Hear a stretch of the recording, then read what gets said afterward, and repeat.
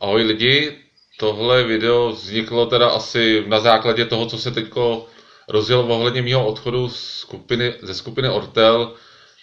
To prohlášení, co jsem dal v pondělí na internet, bylo určitě nutnost a moje povinnost. Vznikalo skoro tři hodiny, protože aby to mělo hlavu a patu, ale rozjeli se konspirační teorie různý nebo i věci, které nejsou fakt reální, takže asi tuto nekvalitní video, který teďko schlínete, je nutný, abyste se ho vyslechli z mých úst a abyste věděli, že já to opravdu myslím vážně, leč z kapely Ortel určitě způsobuju e, velkou starost na to, aby mohli pokračovat dál, takže klidně začnu z toho, co jsem jenom doneslo, protože opravdu při svém běžném životě, který vedu jako každý jiný, mám minimum času na to, abych e, prostě všechno přelouskal, co je na mém Messengeru, co jsem ještě nepřečet, co je na Facebooku, o čem ani nemám páru, ani potuchy.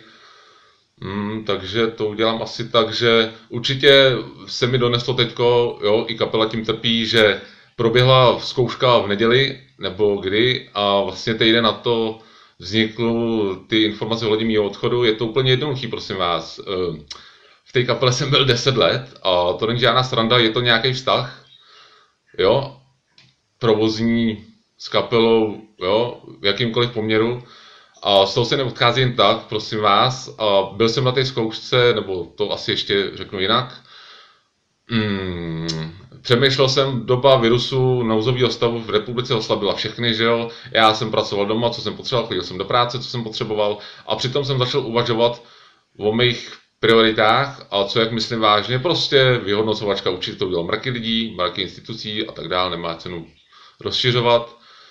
A dospěl jsem tak v druhé půlce nozového stavu, že určitě asi teda mám asi jiný vize, že už mi to nedává tolik, jako mi to dávalo předtím, i když určitě dávalo. A je to určitě o zodpovědnosti tuto dělat, tuto branži, protože nesmíte být přítěží, nebo neměli byste být přítěží tomu celku, s kterým jste pohromadě a s kterým něco vytváříte.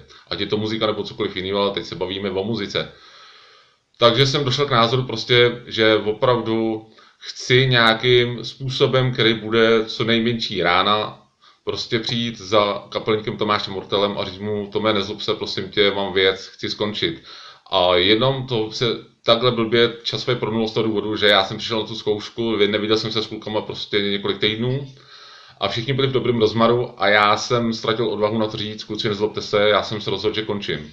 Ale jelikož už všechno pojede dál, pojedou koncerty, kapely nebo hudební dějní se bude moc nadechnout, nebo kulturní, ne hudební, kulturní dějní se bude moc asi v republice nadechnout. Takže pro mě přišel největší čas, jo, o to ty si odvahu neměl, ale čas běží, čas tiká. A nechci to říkat kapele týden předtím, než pojede na jakýkoliv první koncert, kde to v republice bude, je to úplně jedno. Takže proto jsem říkal, den jsem si nechal ještě na kuráž a úterý vlastně po zkoušce jsem vyrazil za Tomášem a všechno už jsem na ně vybalil, protože jsem usoudil, že není času na zbyt, ať mám odvahy víc nebo míň. Tomáš byl určitě nebyl překvapený, prosím vás. Určitě ho to překvapilo, protože to je starost, i je tam nějaká vazba za ty léta, prostě bylo to 10 let, ne rok, ne měsíc, ne den. Uh, prosím vás, už jsem to si, teď se budu možná opakovat, ale je to video taky jakože takřka live, takže i chyby tam budou. Mm, když chceš dělat muziku nebo to, co tě baví, i když tě to nikdy nebaví, tak to musíš dělat dál a musíš učit do toho dát sebe, protože jinak to pozná v okolí, nebo vši- někdo si to prostě všimne díl nebo později v určitém rozsahu.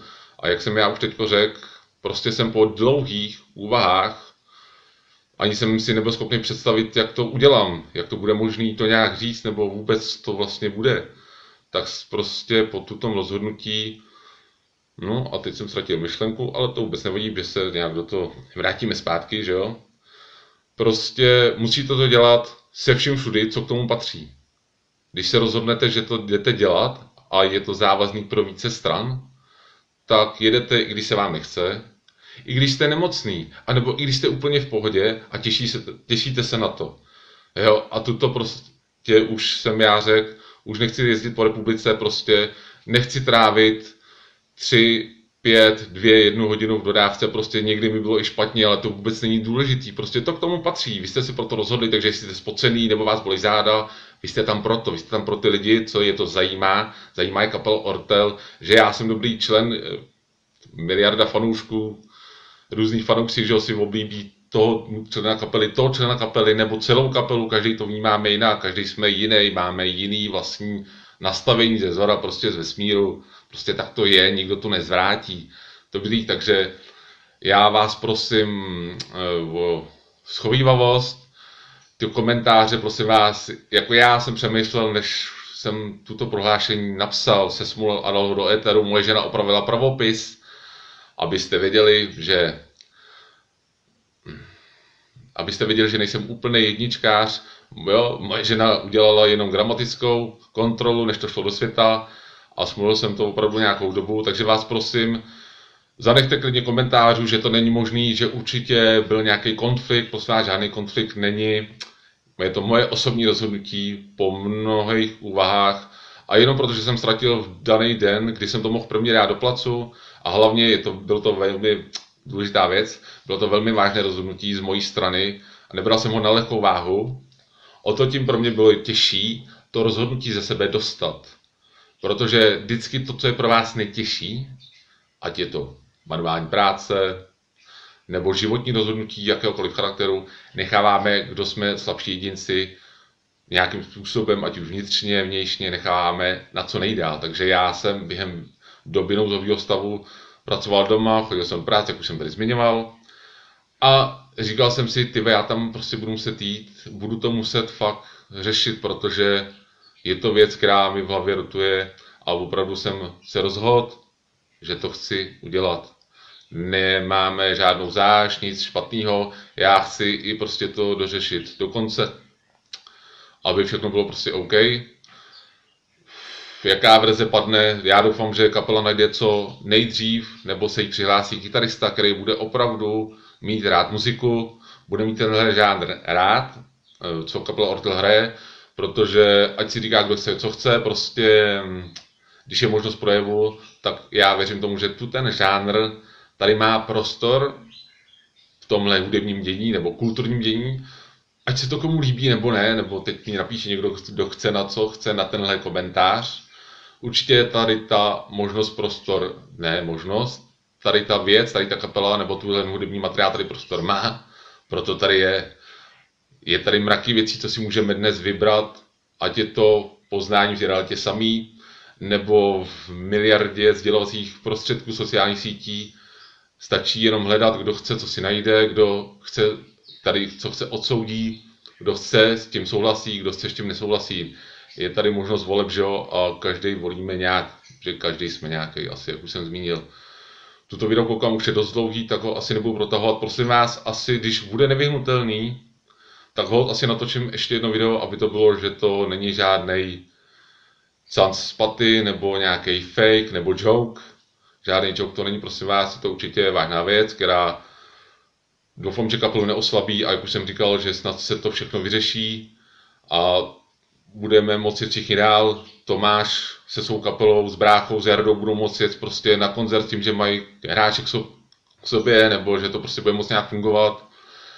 A já budu si budu moc říct, dopadlo to zaplať pán už je to vyřešený, kluci můžou jet dál a já když jsem se rozhodl, tak jak se s tím poperu, to už je moje věc, protože jsem se takhle rozhodl já. Jo, prosím vás. Takže já bych vás poprosil opravdu o schovývavost nebo rozum a pochopení, pro, může se stát cokoliv, opravdu. Může se stát cokoliv, opravdu jsme tady na zkušenou, vesmír nás zkouší, jsme tady, aby jsme poznali lecos a já jsem hold asi usoudil, že už nechci věnovat té muzice tolik, co to obnáší a potřebuje. Obsahuje, co tomu musíte dát. Protože když tomu to nedáte, když to vezmu přes kapelu, první to pozná kapela, že se něco děje, pocitově na zkoušce, na vystoupení, pak to poznají i fanoušci, protože ty lidi, tu, ty fanoušci mají tu muziku přirozeně. A protože jim něco říká, taky, že ji ji poslouchají, neposlouchají, osloví to, neosloví je to, jdou k tomu, jdou od toho pryč. Nic víc, prosím vás, na tom není.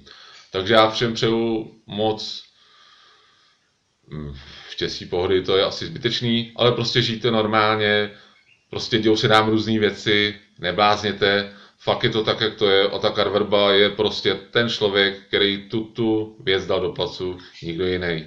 Jo, já doufám, že proto najdeme pochopení všichni. Omluvám se těm, co mi už třeba neuvidí na žádném koncertu nebo někde takhle. Asi už nebudu trajdat po republice prostě, jo, budu se věnovat jiným směrem, prostě třeba mi má život naservírovat něco jiného. Jo, takže já vás moc zdravím, ahoj. Doufám, že to video sklínete až do konce, abyste to slyšeli celý, i když nějaká minutáž tam je. A říkám, hold, když to bude nevyhnutelný, asi natočím hold něco takového s chybama, nekvalitního, abyste věřili, že to je reál, ne fake. Jo, a maximálně najdete, jsem koukal při těch komentářích pár, co mi četla moje žena prostě, nebo já něco málo, nebo co kluci dávali na společnou komunikaci kapelovou, tak hod jsou tam i věci, ať už jo, těch odpůrců, jo, jsou tam i negativní komenty, nebo e, rejpavý, jo, všechno se to tam zamíchalo dohromady pěkně a já říkám, vím po desetině toho textového materiálu, který existuje, možná ani ne, takže loučím se s váma zatím, ahoj, mějte se, jo, a fakt, dořešme to v klidu, určitě to zátěž pro kapelu Ortel a potřebujeme to jenom v klidu dořešit, aby kluci mohli fungovat dál, jo, bez země prostě. Jo, ale mějte se, zatím, čau.